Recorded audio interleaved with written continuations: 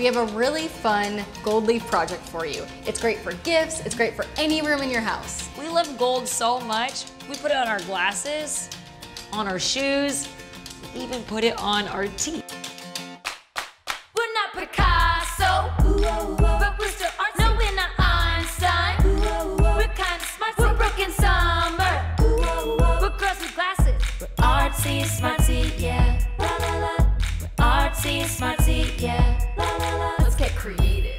All jokes aside, gold is really on trend.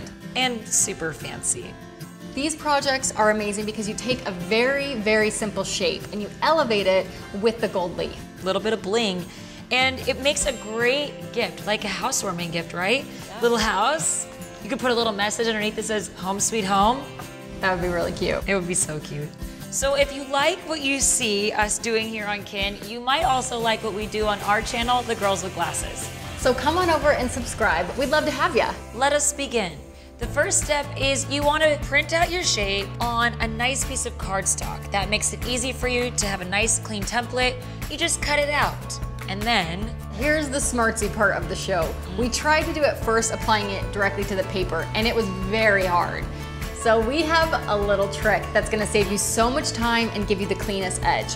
Because you cut it out, you're able to form the gold around it. kind of wrap those edges. Yeah, so much easier. You take your little shape and you put it, once it's gold leafed, right onto your paper. You glue it on there and it's good to go.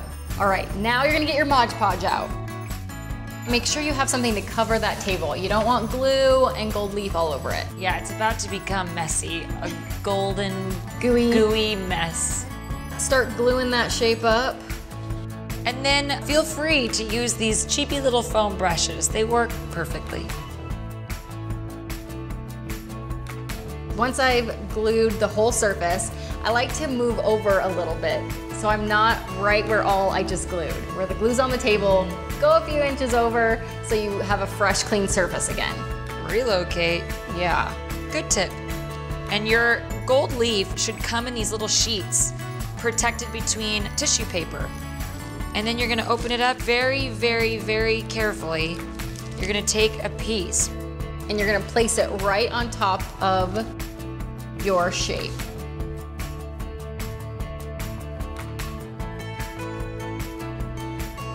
And here's another great tip.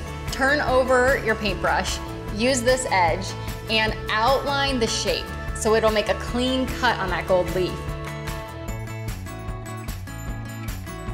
Also, I like to use my fingertip and just kind of smooth it around the edge and apply a little bit of pressure so that I can see exactly where that edge is. And then it makes it very easy to outline. So now you're just gonna pull the paper very slowly away from your shape. Ooh. and you're gonna repeat that process until your whole shape is covered.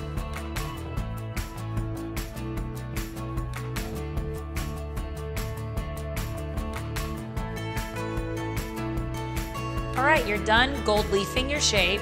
All you've got to do is throw some glue on the back, center it on a nice piece of cardstock. We went with a bright pink to give it that extra pop. And you glue it, and then it's ready to be framed. Yeah, framing makes such a huge difference. I love to find a frame that has a mat. It just looks legit. Really, it just takes it to the next level, you know? Giving this as a gift, it's just a whole package. They can just put it up on their wall. This project is great, shown in a series. You can have so much fun with the shapes, with the different colored papers. So when in doubt, just put some gold on it. It's the new put a bird on it. What was that? I think it said subscribe.